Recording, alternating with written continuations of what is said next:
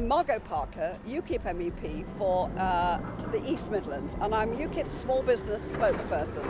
I'm here today actually to find out from the hauliers' uh, perspective really how they're coping business-wise. I mean, we've long noted since this Calais uh, problem has arisen at the beginning of this year that lives have been put at risk, uh, but businesses, it's a huge knock-on cost, you know, to those small businesses. And we've heard firsthand today from Maru, you know, a great local company, you know, a company that's been built up, a family business, and they really look after their workforce and they're passionate, you know, to keep their workforce safe. So it's critical that we actually do our very best to make sure that these guys and their workforce actually can manage to run their business without being at risk uh, and you know to to resolve this situation because it can't carry on as it is. It's, it's costing money, it'll cost lives, it has cost lives, but we don't want to see drivers actually losing their lives or anybody else actually being put at risk. So it's up to the governments to step up to the plate and deal with this.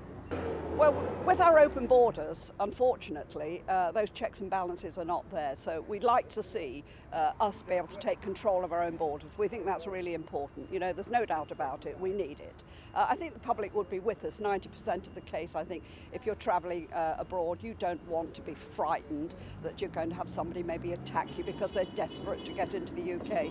So they need to deal with this. I mean, they've got it all the way through Europe, but this is a European problem, but our government actually needs to play its part in this. I mean, if we need to bring in extra, extra service people for a border force, then we must do that to make sure that we've got the right safety measures in place for small businesses so that these guys who work very, very hard can actually continue to run their business and keep the economy of the country going, which is desperate.